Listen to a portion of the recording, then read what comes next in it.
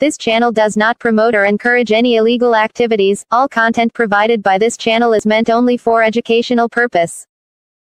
असलम दोस्तों, मैं हूँ आप सबका दोस्त और इस चैनल का होस्ट अब्दुल्ला फारूकी और आप देख रहे हैं मेरा चैनल मिस्टर अननाउन। तो यार जो जो भी न्यू आया है मेरे इस चैनल पर उससे रिक्वेस्ट है कि मेरे चैनल मिस्टर अननाउन को सब्सक्राइब कर लो और बेल आइकन को ऑल पे कर लो ताकि आने वाली वीडियो का नोटिफिकेशन सबसे पहले आपको मिलता रहे। टेक्नोलॉजी के रिलेटेड काफ़ी सारी वीडियोज़ में इस चैनल पर डालता रहता हूँ तो काफ़ी कुछ आपको यहाँ पर सीखने को मिल जाएगा। तो जो जो भी न्यू आया है यार, भाई के चैनल को सब्सक्राइब ज़रूर कर लेना है। तो आज यार, आपको मैं बताने वाला हूँ कि आप लोग अपने एडसेंस अकाउंट अकाउंट में बैंक अकाउंट जो है वो कैसे ऐड कर सकते हैं? पहले जो है हम लोग वेस्टर्न यूनियन से पैसे ले लेते थे, लेकिन अब जो है बैंक अकाउंट वो मांग रहा है तो बैंक अकाउंट कैसे ऐड करना है? आपने अपने अकाउंट में एडसेंस वाले अकाउंट में अपना बैंक अकाउंट कैसे ऐड करना है, उसके बारे में आज मैं बताऊँगा।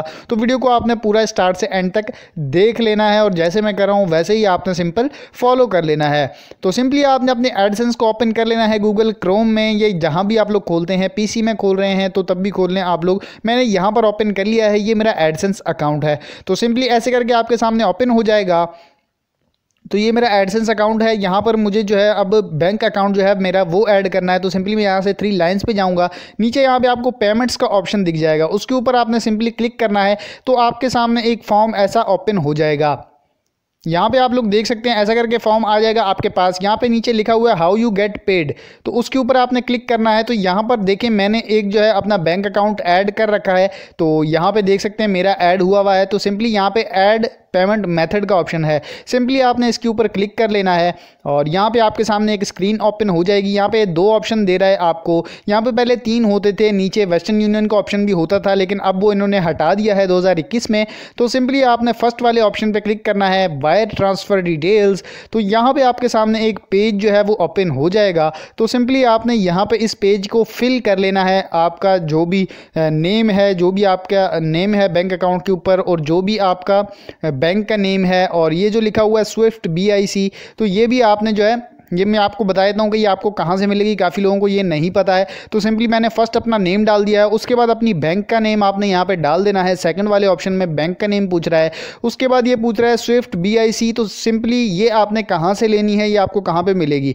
तो काफ़ी लोगों का ये क्वेश्चन है तो ये आपको मिलेगी आपके बैंक मैनेजर से। आप लोग उससे पूछ सकते हैं कि भाई हमारा जो है बीआईसी नंबर क्या है तो वो आपको बता देगा। ये आठ या ग्यारह हिंसों का जो है नंबर होता है, वो आपको बैंक वाला बता देगा। इसके बाद आईबीएन नंबर आपकी चेकबुक के ऊपर भी लिखा होता है और आपको बैंक से भी पता चल जाएगा तो ये दोनों चीज़ें आपको सिंपली पता चल जाएँगी। तो इसके बाद जो नीचे दो चीज़ें हैं, वो आपने फिल नहीं करनी है।